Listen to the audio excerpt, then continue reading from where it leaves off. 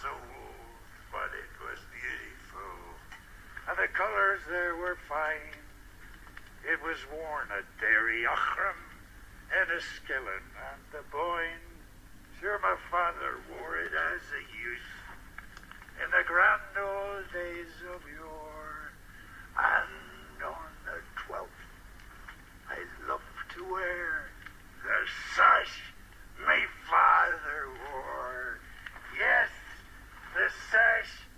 my father would. We're going anytime.